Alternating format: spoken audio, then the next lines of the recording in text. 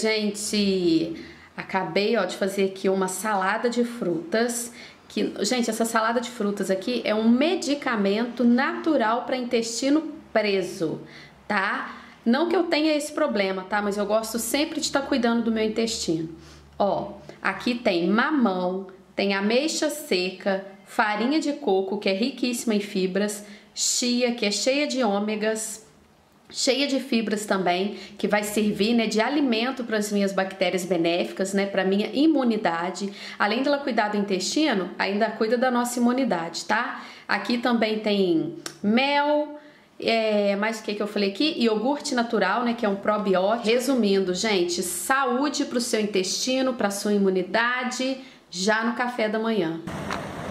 Gente, vim trazer a Maria Eduarda para poder andar de patins e vim fazer uma caminhada também, né? Porque eu não fui na academia hoje de manhã. Só gente que tá chovendo, mas não vai ser essas gotinhas de chuva que vai fazer, né? Eu ficar em casa e não trazer a Duda para andar de patins. Então é isso. Estamos aqui na pracinha. E aqui, ó, tá aqui já, ó. Hoje não colocou nada. Lembra a última vez, né? Tomou um tombinho, mas foi para crescer, né, Duda? Resumindo, é. gente, aqui é bem bonitinho, ó, porque tem essa pista aqui de skate e ela é liberada para patins quando os meninos não estão aqui, sabe? Para andar de skate. E aqui em volta tem aquela tem tipo uma passarela, então eu vou caminhando e vou olhando a Duda aqui brincar, ó. Tá ali também tem uma academia ao ar livre. Ai, gente, eu gosto bastante de fazer atividade assim ao ar livre. Nossa, eu amo. Tô caminhando há 10 minutos já, ó, e Duda tá ali, ó. Tá aqui anda de patins. Gente, tá caindo mesmo chuvinho. Olha aqui pela água. Mas são pinguinhos finos. Olha o estado da pessoa, gente. Toda melecada, porque junta, né, com a meleca, que é esse filtro solar. Mais o suor. E é isso. Agora só vou sentar aqui mais um pouquinho a outra já tá fazendo artinha, olha. Ai, como é bom ser criança, né? Depois a roupa vai toda pro lixo. Maria Eduarda já não achou... Ah lá, Duda, lá no fundo, ó, vê lá. Maria Eduarda já não achou um cantinho da leitura aqui, ó. Já não encontrou livros por aqui.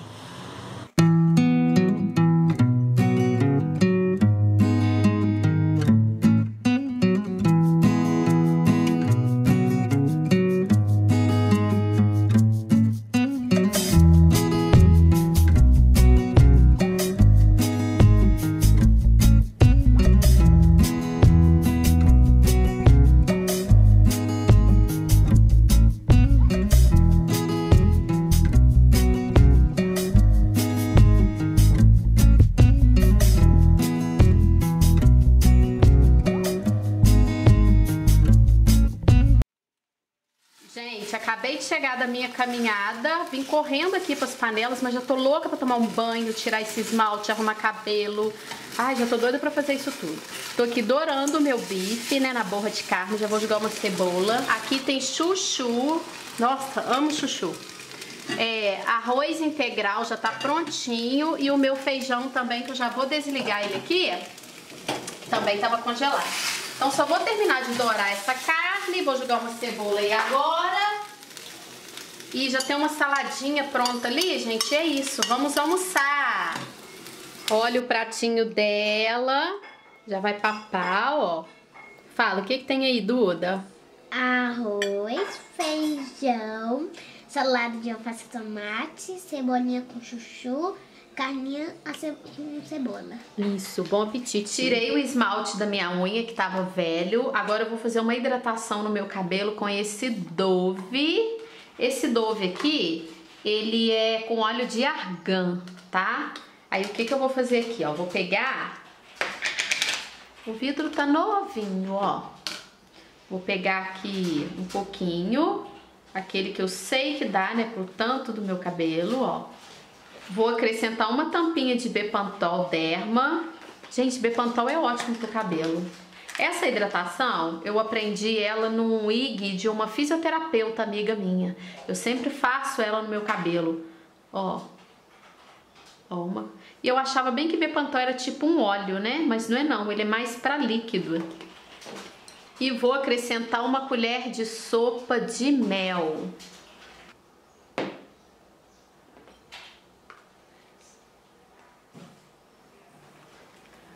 Pronto, gente, agora eu vou misturar isso tudo aqui, vou para debaixo do banho, que essa hidratação eu vou fazer lá. Aí eu vou lavar o meu cabelo com um shampoo mais clarinho, porque eu estou sem aquele anti-resíduo, mas esse shampoo clarinho, ele é quase que igual aquele anti-resíduo. Nossa, ele tira bastante, eu sinto até que o couro cabeludo fica com aquele frescor. Deixa eu mostrar pra vocês, ó, como que tá a cor do meu cabelo, tá vendo, ó? Ele tá bem sujo, tá, gente? Ó, Tá vendo? Eu costumo até dizer que cabelo preto né, ele já tem um brilho mesmo, tá? Então vou lá fazer minha hidratação e vamos ver, né? O que que essa misturinha vai me trazer de benefício.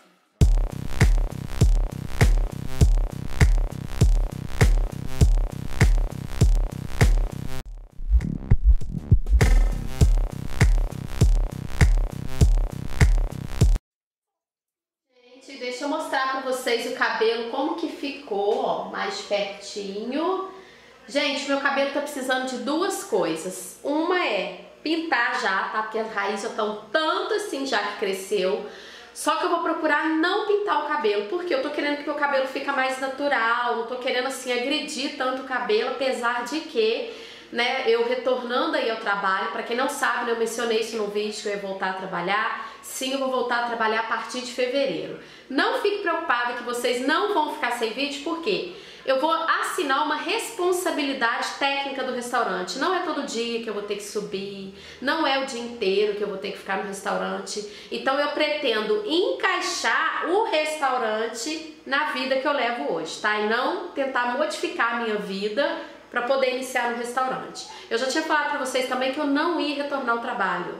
Só, gente, que eu preciso voltar, porque uma nutricionista, quando ela fica muito parada, as coisas acontecem lá fora e se a gente fica muito parado, o bonde passa e a gente fica. E eu pretendo ainda né, aprender algumas coisas que eu não aprendi no antigo restaurante que eu trabalhei.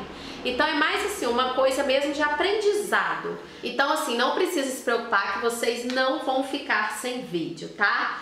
E outra coisa também, né? Igual eu falei pra vocês que eu tô precisando pintar o cabelo e tal, mas eu não vou pintar o cabelo, tá? Porque eu quero mesmo que ele volte à cor natural dele. Futuramente aí eu pretendo fazer umas luzes, então assim, eu quero fazer uma transição de cor. E outra coisa também, tá precisando de um corte, né? As pontinhas já tá precisando de um corte. Aqui na frente também tá totalmente sem corte. Então, como eu vou levar a Maria Eduarda para poder cortar o cabelo dela, eu vou aproveitar e vou dar esse corte no meu cabelo também. Fiz as minhas unhas do pé. Gente, eu sempre passo esse clarinho, né? Que é o renda. Eu nunca modifico, porque eu gosto do meu pé da unha bem clarinha assim. E vou contar um segredo para vocês. O que eu quero falar pra vocês, gente, é que homem repara pé quando ele tá bonitinho e quando ele tá feio. Então fique atento ao seu dedo do pé, né? A sua unha do pé. É, eu escutei uma história lá no, no salão que eu tava agora e fiz também as minhas mãos lá, tá, gente? Porque eu já tava lá mesmo e resolvi fazer as minhas mãos também. O esmalte que eu passei aqui, ó, é o Cappuccino da Risqué. E igual tá falando pra vocês, eu tava lá no salão, aí uma menina pegou e mencionou que o irmão dela foi numa missa e chegou lá e tava olhando uma moça muito bonita. Aí quando ele olhou pro pé dela assim, viu que a unha tava toda feia, que ele até desencantou da moça. Aí eu tava contando essa história pro Vitor, o Vitor disse que homem repara pé. Entendeu? Então fica atenta aí, ó, sua unha do pé para ela estar tá sempre bonitinha. Uma dica que eu te dou e que, gente, resolveu muito pra mim.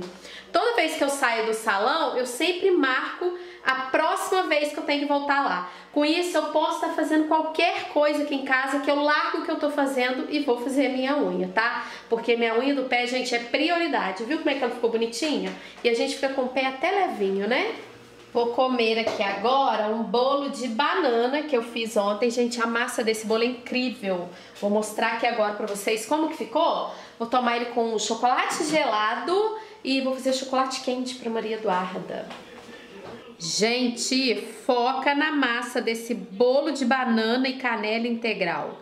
Uma delícia. Quando você estiver vendo esse vlog, a receita já vai estar no ar. Mesmo assim, vou deixar o link aqui embaixo, tá?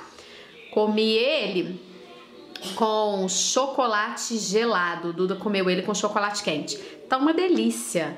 Tá uma delícia. Se você fizer, me marque no Instagram, tá? Porque realmente esse aqui ficou dos deuses.